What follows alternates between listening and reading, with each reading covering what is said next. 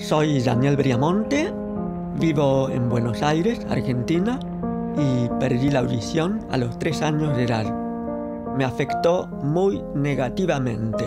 Me encerré en mí mismo y traté siempre de evitar el contacto con las personas.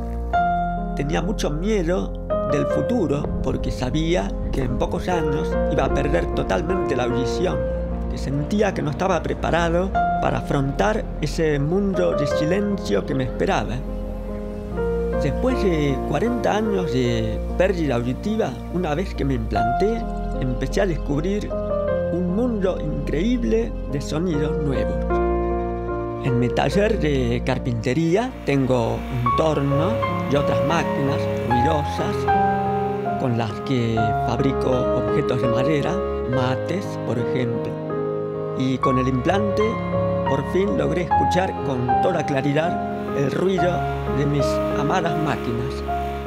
Tener la capacidad de escuchar y comprender la música del piano, por ejemplo, me hace sentir tan agradecido de la vida por haber recibido el implante. Me emocioné hasta las lágrimas al escuchar a Beethoven, mi compositor favorito con quien me siento tan identificado.